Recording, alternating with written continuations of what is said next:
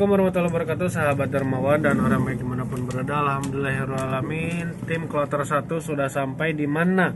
Di Bengkulu di provinsi di Bengkulu Selatan ya. Alhamdulillahirrahmanirrahim. Nah ini kita akan ke titik kumpul selanjutnya.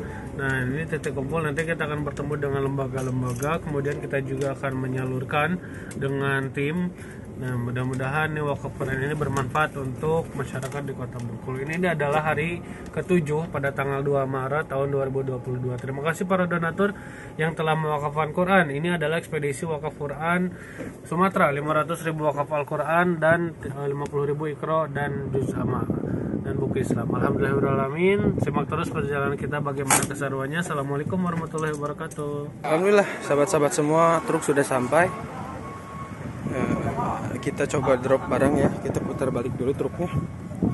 Biar gampang nanti kita simpan drop di sekitaran sini.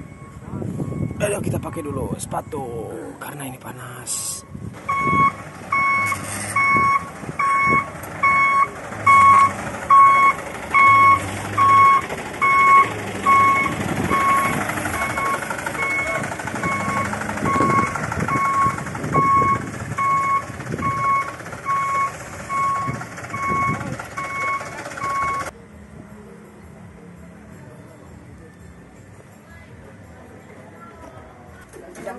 luar biasa.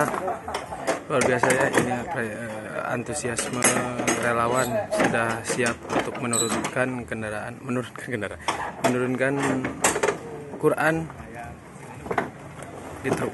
Nah, mantap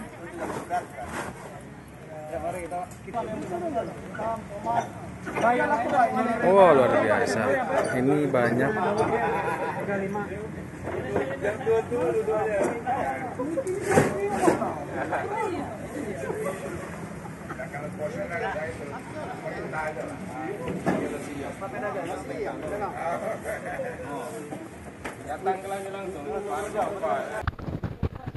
Assalamualaikum warahmatullahi wabarakatuh. Sahabat dermawan dan orang baik di mana pun berada Alhamdulillahirrahmanirrahim Tim Kloter 1 sudah sampai di Masjid Maria Afan Di kota mana? Di provinsi di Kabupaten Bengkulu Selatan Provinsi Bengkulu Alhamdulillahirrahmanirrahim Ini truk sudah sampai di titik kumpul kedua Di mana?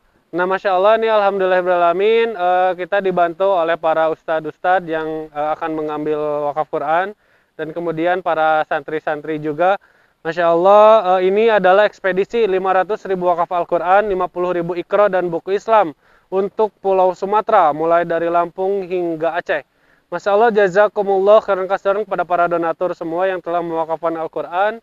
Ini insya Allah akan bermanfaat untuk masyarakat, para santri di pelosok di, di Bengkulu ini. Alhamdulillahirrahmanirrahim, ini adalah situasi dan kondisi sekarang pada tanggal 2 Maret tahun 2022 ini adalah hari ketujuh penyaluran kita dan sekarang posisi cuacanya benar-benar sedang panas eh, karena akan masuk waktu zuhur setengah 12 ini benar-benar cuacanya sedang terik tapi tidak menurunkan semangat dari bapak-bapak dan para santri yang membantu untuk menurunkan Al-Quran dan buku-buku Islam dus-dusnya semuanya dari dari truk hingga masuk ke masjid. Nah kita akan sambung lagi, nanti kita akan lihat di dalam kayak gimana uh, situasinya. Nah ini dus-dus yang lebih besar, ini adalah isinya uh, Al-Quran. Nah untuk yang kecil ini isinya adalah buku Islam, Ikro, kemudian Juz Amma, yang insya Allah ini akan kita bagikan, akan kita salurkan ke madrasah, ke pondok pesantren, ke sekolah, kemudian ke majelis taklim yang ada di e, Bengkulu Selatan ini. Nah, ini kita tim kloter 1 sudah sampai di mana? Di Bengkulu Selatan. Masya Allah, ini kita dibantu oleh Pak Ustadz, Pak Ustadz, kemudian para santri di sini. Nah, kita akan menurunkan 35 buku Islam, kemudian ada uh, Quran sekitar 50 dus. Ini di masjid di Masjid Maria Afan di ma, di mana di Bengkulu Selatan. Truk baru sampai di titik kumpul kedua di Bengkulu ini.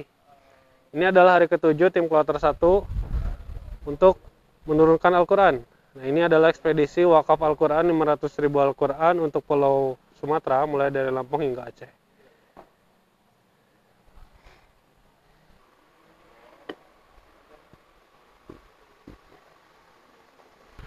Sekali lagi ini adalah titik kumpul kedua yang ada di Masjid Maria Afan. Ini bukan berarti Quran-Qurannya akan disalurkan di sini semua. Melainkan eh, tempat ini yaitu di Masjid Maria Afan kita gunakan untuk menjadi titik kumpul agar eh, para lembaga-lembaga yang ada di Bengkulu Selatan ini mudah untuk mengambil Al-Quran. Sekali lagi ini bukan tempat untuk titik penyaluran semuanya, akan tetapi ini menjadi titik kumpul sehingga para lembaga-lembaga, Pak Ustadz-Ustadz semuanya yang ingin mengambil Al-Quran akan mengambil di sini karena halamannya ini luas dan masjid juga cukup luas. Nah nanti dari sini lembaga-lembaga ini akan mengambil Al-Quran sehingga disalurkan ke pelosok-pelosok yang ada di Bengkulu Selatan ini. Masya Allah.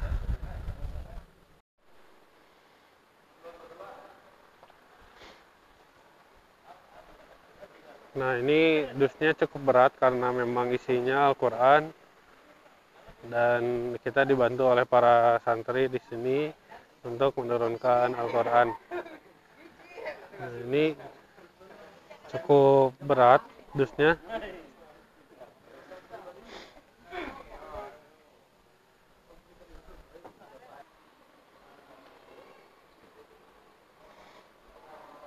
Nah ini uh, kita menurunkan 50 dus Al-Quran di sini. Kemudian uh, ada 35 dus yang berisikan buku Islam, Iqra dan Juz Amma. Nah, ini kita akan salurkan. Ini kita berada di titik kumpul kedua di Bengkulu. Nah, tepatnya di Masjid Maria Afan yang ada di mana Eh, Bengkulu Selatan. Nah, ini titik kumpul ini adalah bukan berarti Quran-Quran dan semua wakaf Quran, wakaf buku ini disimpan, disalurkan di sini, di masjid ini. Tetapi Pak, ini masjid yang luas, halaman yang luas ini menjadi parkir dari penurunan truk, kemudian nanti semua lembaga-lembaga di pelosok di Bengkulu ini akan menyalurkan dan mengambil Al-Qur'annya di sini sebagai lokasi yang strategis untuk pengambilan wakaf Al-Quran. Nah, ini kita dibantu oleh para santri.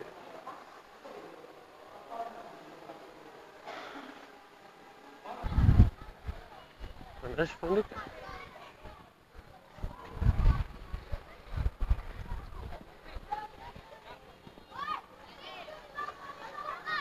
Assalamualaikum warahmatullahi wabarakatuh Sahabat dermawan dan orang baik di mana pun berada. Alhamdulillahirrahmanirrahim.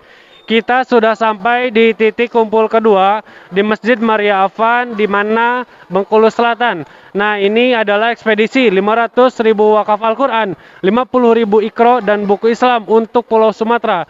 Nah kita akan menyerahkan uh, wakaf Al-Quran ini beserta ikro ini untuk perwakilan dari titik kumpul kedua di, di Masjid Maria Afan. Mengapa?